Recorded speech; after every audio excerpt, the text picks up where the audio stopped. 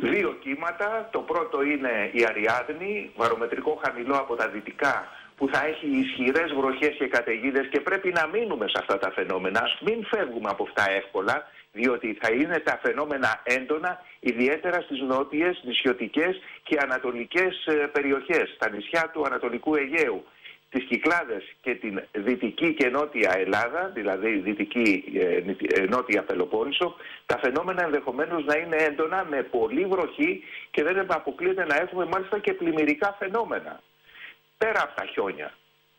Αργότερα, καθώς αυτό θα προχωράει ανατολικότερα, έρχεται η ψυχρή εισβολή από τα βόρεια, η οποία θα φέρει χιόνια ακόμα και σε παιδινές περιοχές, πρώτα από την Πέμπτη το βράδυ και μετά στη Βόρειο Ελλάδα, στη Μακεδονία και σιγά σιγά θα κατηφορίζει νοτιότερα, φτάνοντας την Παρασκευή το βράδυ και στην Αττική.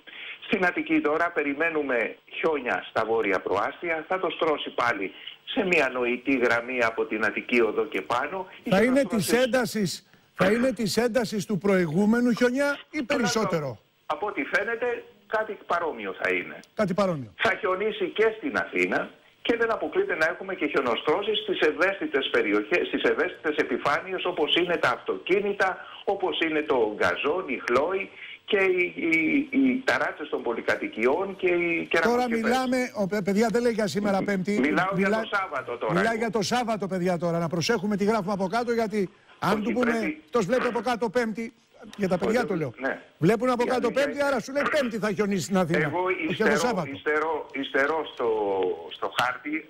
Εγώ ε, δεν έχω ακριβώς ε, ναι, ναι, όχι, λέω ότι γράφουμε από κάτω. Λόγω Skype υπάρχει μεγάλη καθυστέρηση σε μένα. Ε, αν θέλετε